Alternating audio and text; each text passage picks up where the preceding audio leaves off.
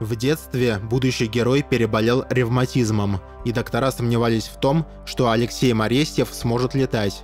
Однако все же он был зачислен в армию в 1937 году. Великую Отечественную войну он встретил в летном училище, но вскоре попал на фронт. Во время боевого вылета его самолет был подбит, а сам Моресьев катапультировался. 18 суток, тяжело раненый в обе ноги, он выбирался из окружения.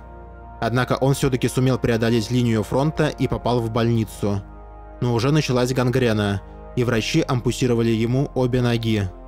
Для многих это означало бы конец службы, но летчик не сдался и вернулся в авиацию.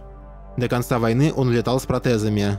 За эти годы он совершил 86 боевых вылетов и сбил 11 самолетов. Причем 7 уже после ампутации.